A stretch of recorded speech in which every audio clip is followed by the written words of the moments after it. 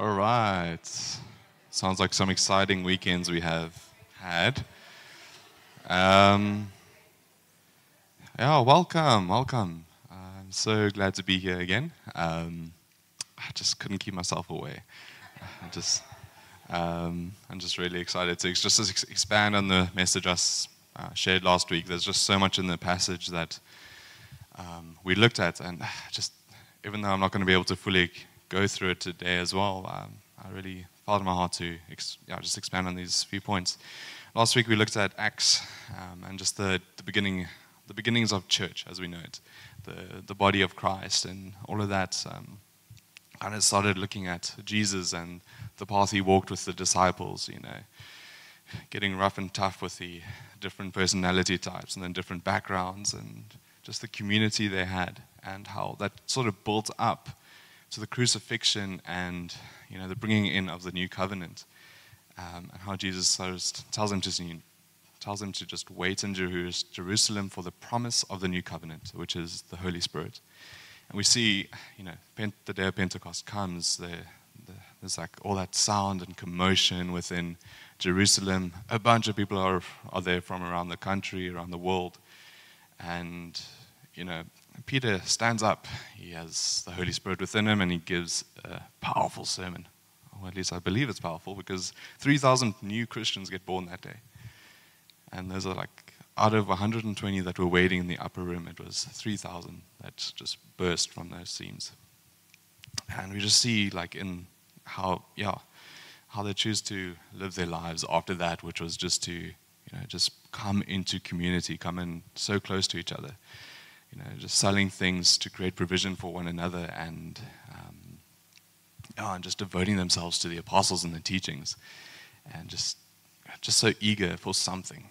And it's just so beautiful to see. And then we, from there, we stemmed on to you know, just how important it is to break bread in one another's homes, like within our modern context of Cape Town. You know, our flats are so small. Like, you, you stand up too quick and you hit the roof and it's like you kind of need to motion around each other in the kitchen. And it's like there's no space for community here. We go for coffees we go for walks and we we do all these things outside of our homes. But when, as soon as we step outside of our door we just put up at least three different shields. We're no longer vulnerable. But once we're in our homes and we share a meal together we just become vulnerable and we see each other for who we are and we build connection. We've god made us for connection with with one another. And you just end up being so lonely with surrounded by people if you just don't have that connection. Ah, we just yeah, just spoke how important it is to break bread in our home. We have a lot of really nice bakeries in Cape Town, so you can get some really nice bread. And just, it's like so, yeah, just reminding us of how important it is to sit around a table or on the floor if you don't have a table, and just connect and yeah, uh, like Juliet mentioned, we have yeah, um, Homie Sunday coming up next week. So just keep that in mind. Chairs are not a priority.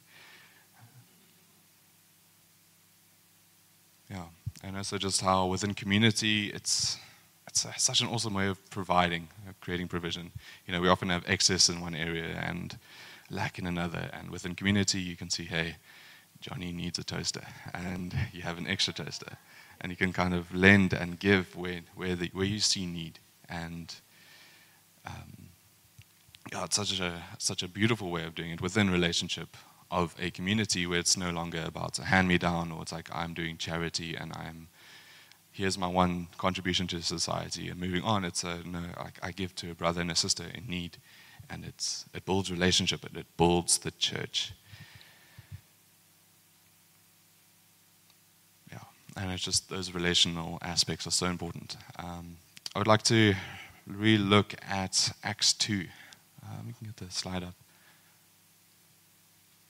I'll read it for us. Once it's there. Okay, awesome.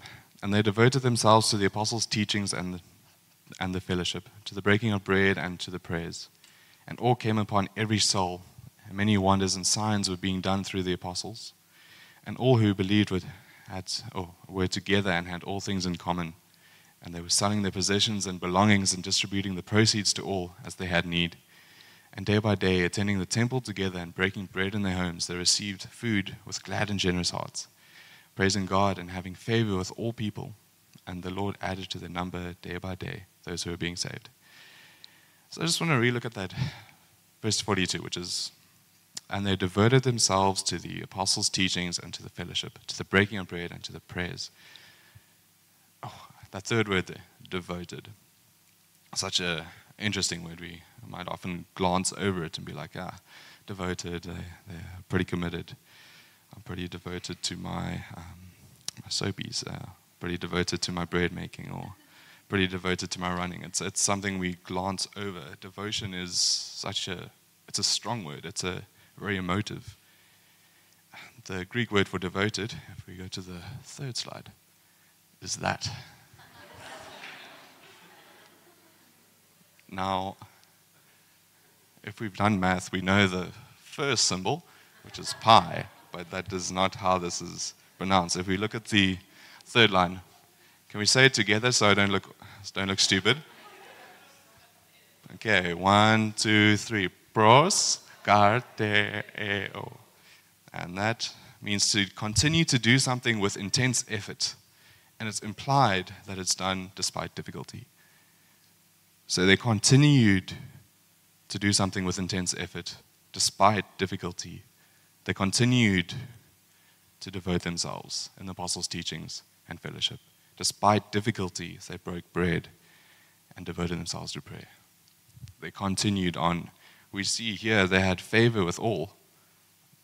And verse 47, but if you move on a chapter and you see it turns so quickly.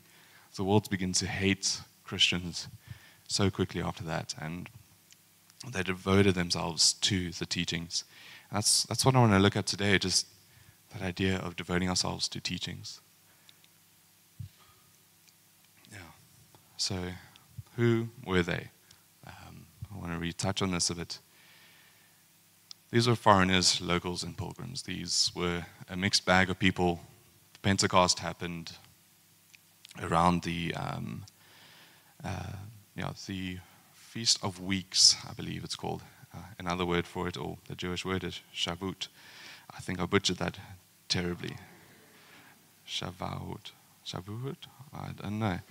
Um, this typically happened 50 days after Passover, which was actually really fantastic because there's so many, so much symbolism that happens around this. Um, it's, so, it signified the conclusion of the grain harvest normally you, at the start of Passover, you would you'd start your barley and your um, good barley, and then you would eventually move on to your wheat and you would uh, and, and your grains, and you would end it on that day, and then you would bring your proceeds, you would bring your your ten percent, and you would worship God with that ten percent. It was essentially your first fruits. And with the Holy Spirit coming in on that day, it's like the first fruits of God's new covenant. Although some there's a lot of debate around it. A lot of people believe that the day of Passover, or sorry, Pentecost, is actually the day that Moses came down from the mountain with the Torah, with the first covenant. So, with the Holy Spirit coming in on Pentecost, he actually brought the second covenant to fulfill this first covenant on the same day. Just such a beautiful round circle. So yes, like I mentioned, these are foreigners, locals, and pilgrims. These, these are people coming around the, from around the world. This is one of the three, like, almost obligatory, um, semi-forced pilgrimages to Jerusalem that they have per year. And people from around the world kind of came, came there. It's, it was probably a bit harsh if they moved a bit further. They were like, ah, that, that plot of land, just, you know, 10, 20 k's that way, it looks really cool but they moved further away from Jerusalem. They probably regretted it. They're like, ah, oh, shucks, that's an extra day of walking. But it's um, everyone came together in Jerusalem. This is like vastly different people, and they gather gather there. And it's imagine just sort of like bustling and walking around, and you you're walking in I don't know maybe Canal Walk, and you just you hear like you see something really interesting happening in that one store, and some guys like dancing, other people are like saying different, uh, speaking different languages. Say you've you visited from overseas, and all of a sudden you hear your language or your your spoken tongue for the first time. You're like, oh, what's that? You start to gather around whatever this place is, and you're like, everyone's also like curious, like what's happening. They're like, some people are saying now they're drunk, some people are saying now they're just uh, foolish, other other people are like, oh, typical Jerusalem. And Peter stands up and he starts to speak to them with authority and might. And the Holy Spirit within him starts speaking truth. And these people are like, wow, something he is saying is resonating within me and something something that I haven't really had before. And that's why 3,000 people from so many different parts of the earth came together and committed their lives to God. This is the church, the ecclesia, the congregation, the believers under a new covenant. Um, and they devoted themselves to the apostles' teachings. Essentially, they're like, what is this thing? I've, I've known Torah, I've known, I just forgot the word, but the uh, extended, um, I know the laws, I know all of that, but this is new. This is something, this is expanding on it. It's, it's building on top and it's bringing freedom. What is this? So they kind of had to, they had to devote themselves to the apostles' teachings. They had to like be like, what is this? And the, I mean, the apostles, they, they, they lived with Jesus for three years. They, this guy spoke some whack things for the, that time. Like, like um, um, an example just escaped my head, but he, he really he challenged the norm. He challenged what people believed and what they thought. And like you live, like you work with uh, like a, someone that just like rubs you up a little bit at work, and it's like, okay, thank goodness I can go home. But imagine living with someone who const- constantly challenges your beliefs every day for three years. Um, and suddenly you become like them. You're like, okay, fine, I understand what you're saying. You, you're bringing a lot more freedom. You're making a lot more sense. And this is what the apostles had. They had that anointing, that, that sort of sense of Jesus about them. And so when they spoke, they spoke like Jesus. They, they had his messages in his head and they, or in their heads, and they had the Holy Spirit within them, reminding them of what Jesus had said and more. So constantly they like they, they are able to share. That's why uh, that's why everyone was able to devote themselves to these teachings, these different things. They probably spoke things matter of factly, and everyone else was like, whoa, mind blow. That is insane. I can't believe you just said that. So just by being around them, they, they learned and they, they, growed. The apostles, there were the leaders, the shepherds, and the teachers of the church as we know it today. And the word devotion here means like a conscious decision and effort to hear and learn and understand. So I mean, the, these people, they, they could have just heard a fancy, fancy thing and like just kind of moved on. Like, hey, you said things really cool in a really cool order, um, and it sounded really cool when you said it, and I'm going to move on with my life. But it actually, there's a call to actually to hear, learn, and understand, and then eventually apply it. And there had to be a response, and there, it was a continual process that they had with, with the apostles out there. Yeah, I mean, yeah, typically Jewish custom would see people going to temple or synagogue anywhere from three to three times a day to once a month. It was, it was very part of the, the like the process to kind of go and learn and be with around teachers. I mean, they had to pray, or there was three prayers that they had per day, and they required people to actually actually say it. And so going to this local synagogue was actually a really good way to find a lot of people who had common belief and be like, hey, let's pray together. Um, I kind of can't do this alone. Um, and we see that they devoted themselves still to this, even though they had the new covenant, which is really, it's just fascinating. They continued to do what they did. You know, they had glad and generous hearts. They were uh, celebrating. They, um, sorry, just trying to find that scripture. Day by day, attending temple together and breaking breads in, in their homes. They received food with glad and generous hearts. It's just, it just paints us like such an, a beautiful image of how it can look like people like going into temple, like ah, praying, and they're just glorifying God, walking out, chatting, like just having a really good time, walking into homes, and then breaking bread and being happy because it's probably good bread, and just it just seems like a very utopious image, and we know humanity is fleeting, and we see how that eventually crumbles and they, they start getting it, things get hard. But they still devoted themselves to the teachings and to meeting together, and we kind of need to look at how we are doing it ourselves, how are we devoting our lives. So I don't know if we remember the sinner's prayer. I hope most of us at least have said it once. Um, it varies from person to person, but essentially you identify who Christ was, you identify what he did, and you and you say, I dedicate my life to you. There's a dedication in that process. And part of that dedication, we, it's, a, it's a laying down. It's uh, essentially an altar in front of us when we give our lives and we plonk it on there and, and we give it on to Him and we say, This is yours to control and take. Yeah. And, and part of that process is a, a need for teaching, a need for feeding, a need for, for growth, and a need for understanding of who God is.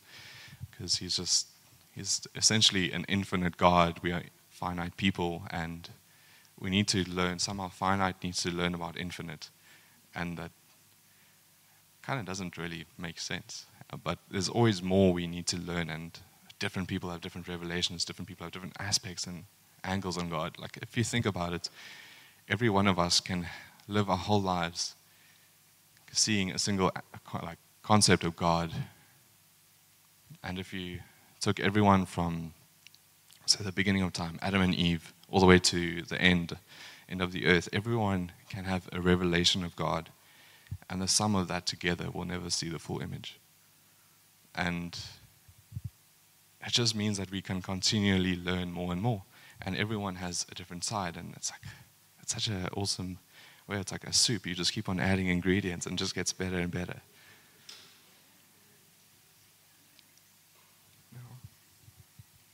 So with yeah, with their model of having the apostles, you know, the apostles kind of just they taught, they shared knowledge. I mean, three years is a long time, but it's also not that long. They had the Holy Spirit within them that they were able to like give over and um, bless others with, and that spread, and that would taught, teach. You know, we see Paul almost becoming an oh, he became an apostle after the fact.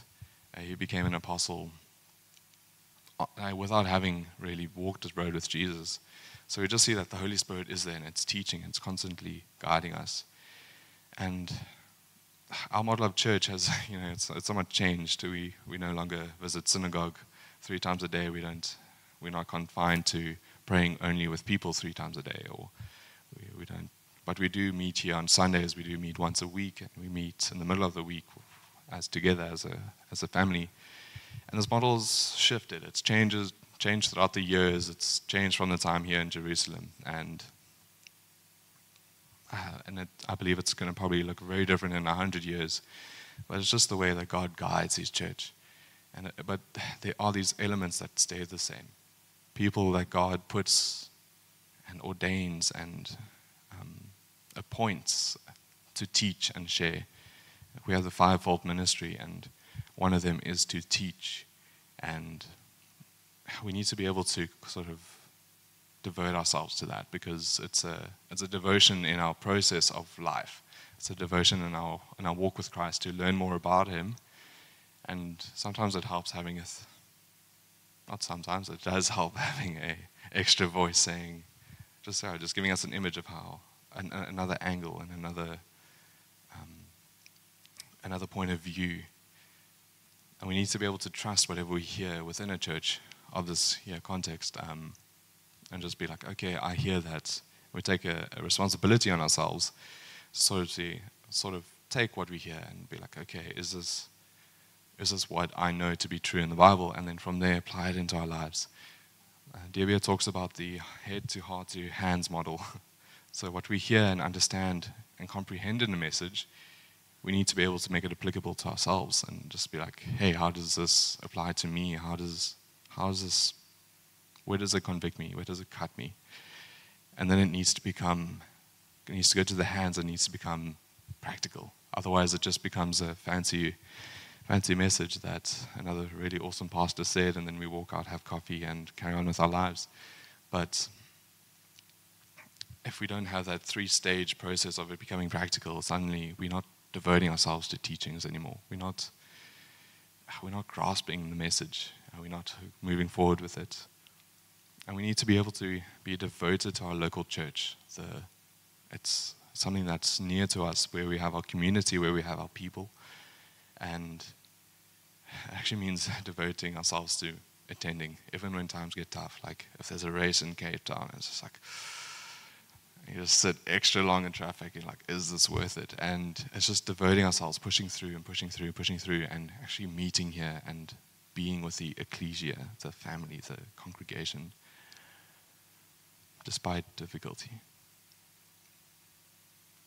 Um, I'll be honest, I, when writing the sermon, I sort of reached this point, and I just felt all this like, ah, urgency and understanding, but I was just left with a question of why. why? Why do they devote themselves? Why? Why do we devote ourselves to the church? Why do we devote ourselves to God? And why is church so important? Why is gathering on Sunday so important? It's, it's essentially a bit of a social club. You know, why did the early church drop everything they had? They, they probably came there with a day pack and be like, okay, I'm, I'm staying here for the night. I'm going to offer my things and I'm going to move on and go back home. But why did they drop everything and say, no, I'm going to stay?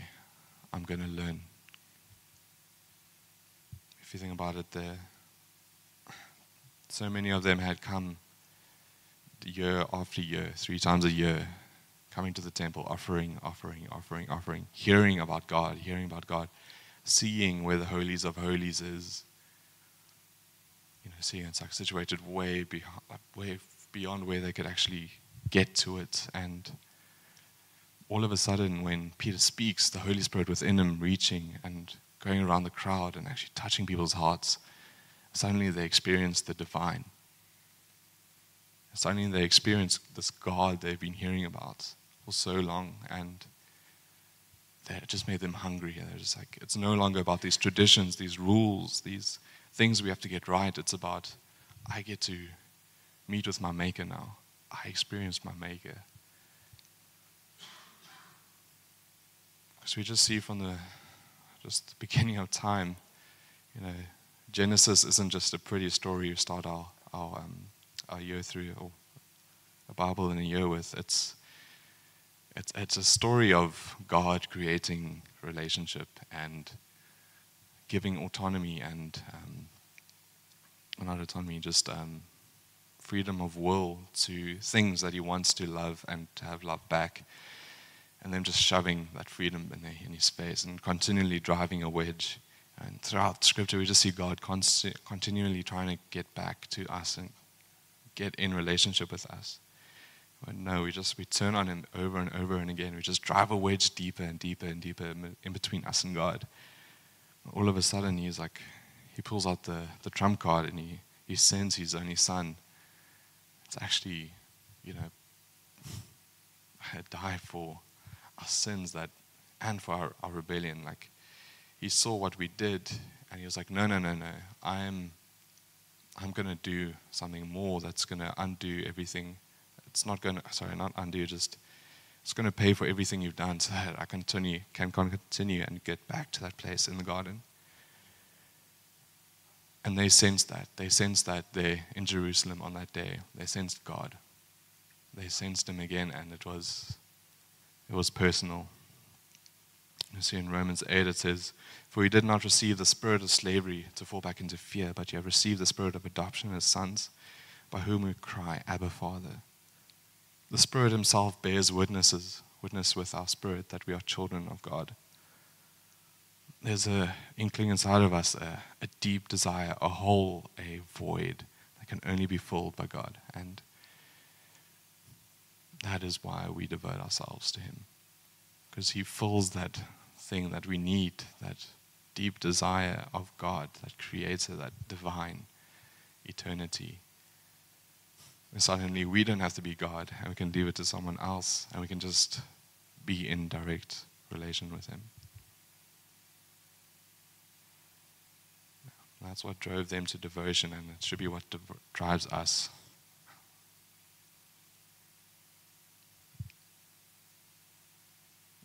I don't know if you remember the first time you gave, gave your life to God. For me, it was probably somewhere in my fours or fives years, like very young. And I don't remember the exact time I, I phrased it, but I remember in my matric year rededicating my life. And then later in my 20s, rededicating my life again. A continual process of saying, God, I'm sorry, I've taken my life. Or God, I'm sorry, I've, I've abused this relationship we have.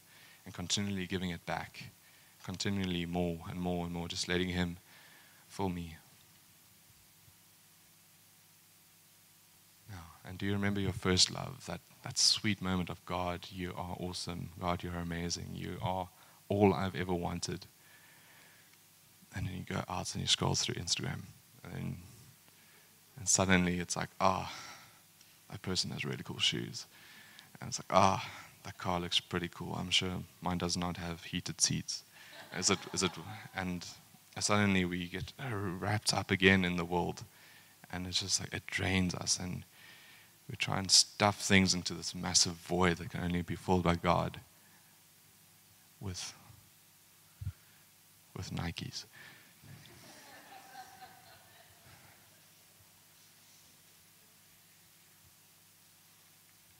And that's that's sort of where I really really felt we needed to kind of end this morning was just a rededication. Either if it's if you haven't had the chance to dedicate your life, or if you just need have a need to rededicate, or even if you want to celebrate your dedication, celebrate it together and be like, oh God, I've I've walked this dedicated road for so long, and I just I've just seen you come through in so many ways. I just, I just want to celebrate you, the remembrance of you, Yanis. Um, as we, I just feel we need to go back into worship and either celebrate it or say, "No, God, I want to rededicate. I've, I've missed the mark for so long."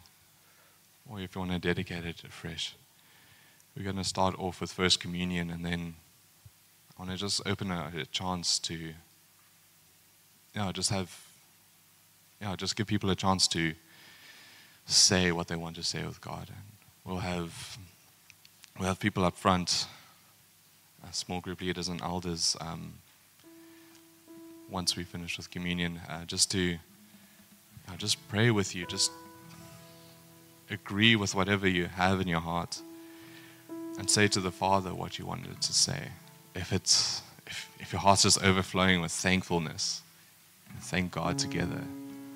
If your heart is just sorrowful and just you just so desire to be reconnected with the Father and rededicate your lives, then do that together as well. And if it's if you've never really vocalized those words, you've you've wondered about it, you've always always thought like, oh, who's this God that everyone keeps on talking about? Who's this?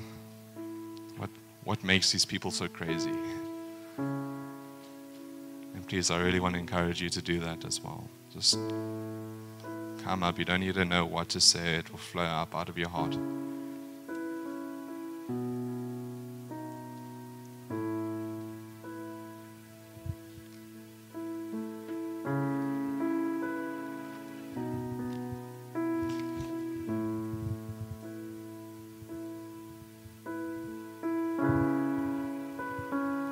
As the communion elements are being handed out,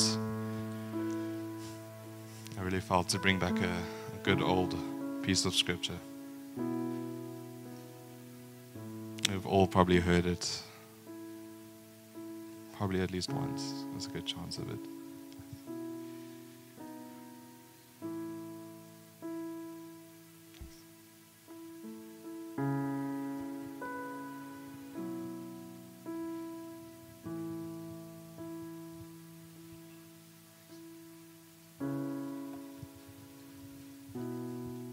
God so loved the world that he gave his only Son, that whoever believes in him should not perish but have eternal life. For God did not send his Son into the world to condemn the world, but in order that the world might be saved through him. Whoever believes in him is not condemned.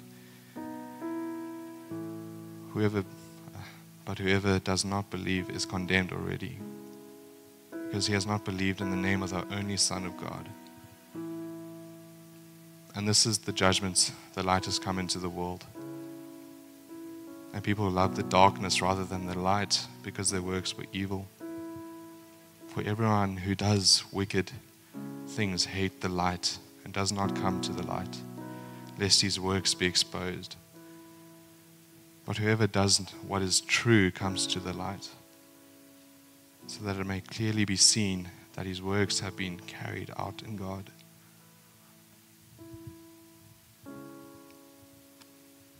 And it's that love, that love that drove Christ to come to earth, to walk a road with 12 burly men, and then to die on a cross as a sinner.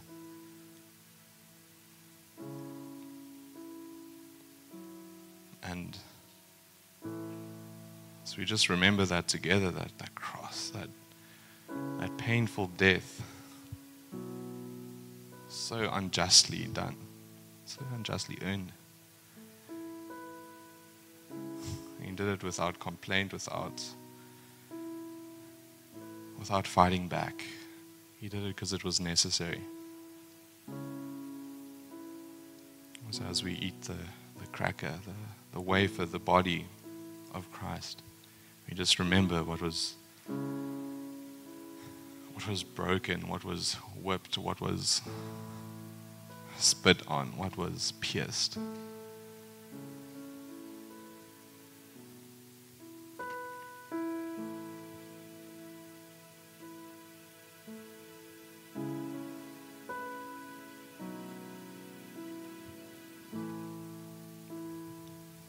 And as we drink the grape juice, signifying the wine that Jesus passed around at the Last Supper,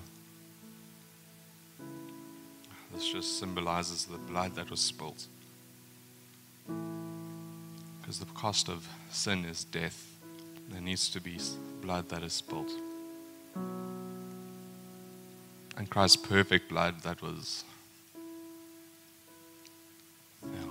spilled because of our rebellion.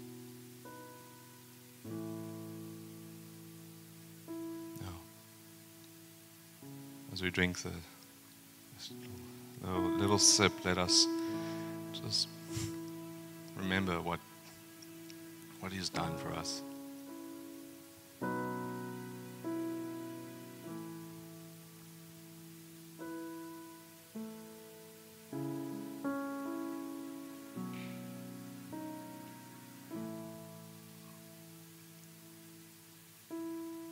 while the worship team carries on and eventually goes into a song, could the small group leaders and elders just form a row in front? And if there's something on your heart you just want to lay at God's feet, if you'd like to dedicate your life anew or you just feel you need to rededicate, if there's anything else on your heart you just feel you need to bring up before the Father, bring up within community and with with someone else. I really want to encourage you to do so. Thanks, Janice.